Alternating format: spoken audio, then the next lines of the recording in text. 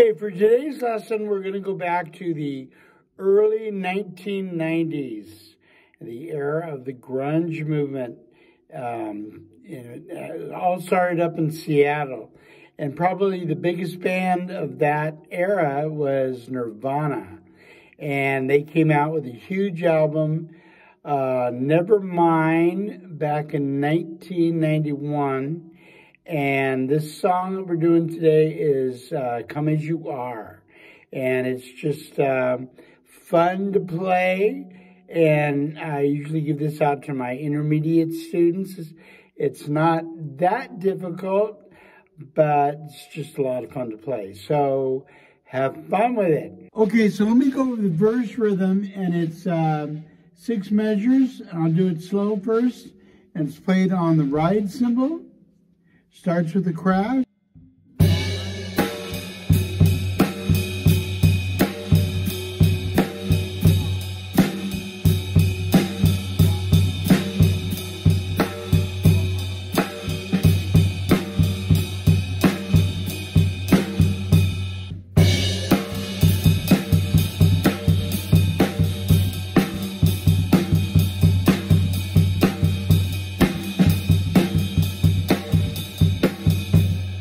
Okay, so let me go over the part right before the chorus.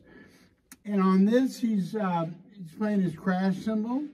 And my crash cymbal's over here. So um, I'll do it slow first.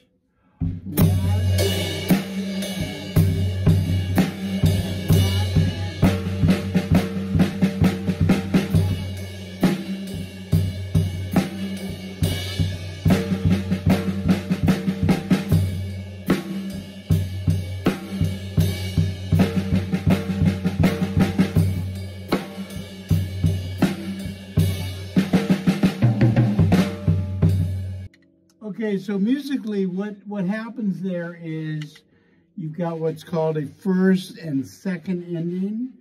So um, if you look at the second line there, on the first ending, then you uh, play that and you go back to the beginning.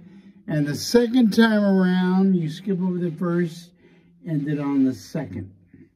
Okay, let me play that faster.